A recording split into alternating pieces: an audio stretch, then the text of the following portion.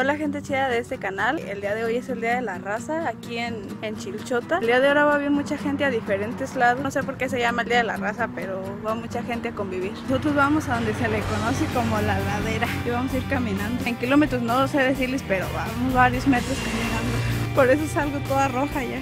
Si me animo, ahorita le voy a dar lata a algunas personas que estén ahí sentadas para preguntarles por qué se llama Día de la Raza.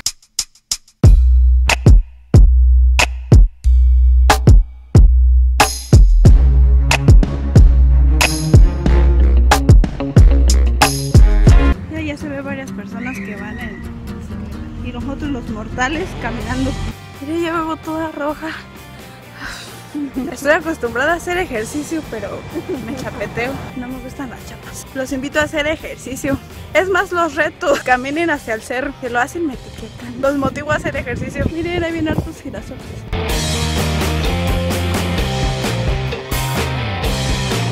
No es por nada, pero ahí estaría chido por una foto. Miren. Sí, mira la lagartija. Mírala.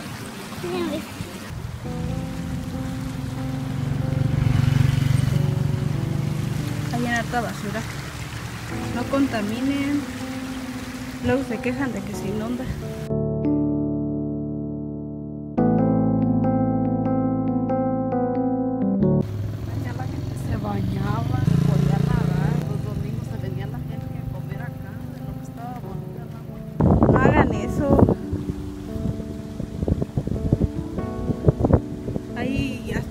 Pedazos de ropa y cosas ahí.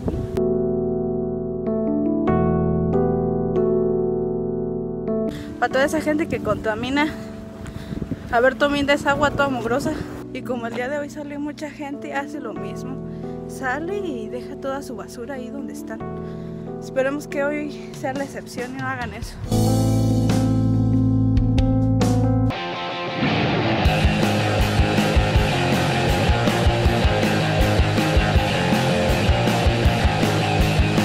Estamos más cerca.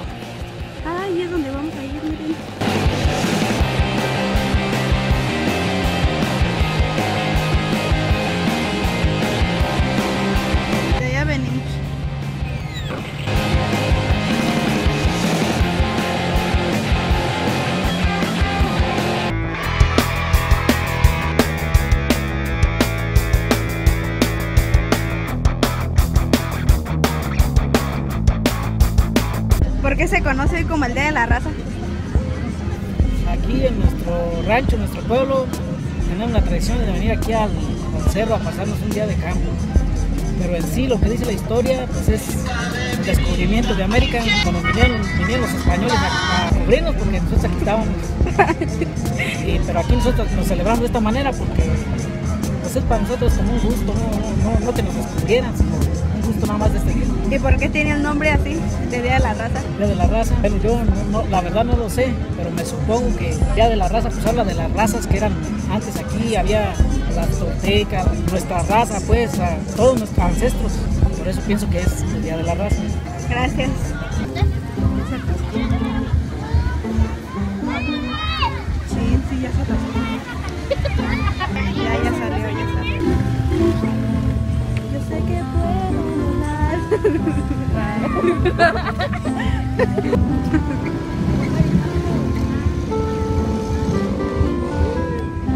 Brincaron por atrás como una ola.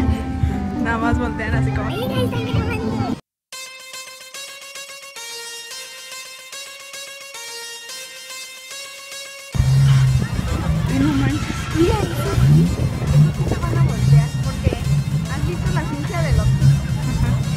En esa dicen que se van a voltear.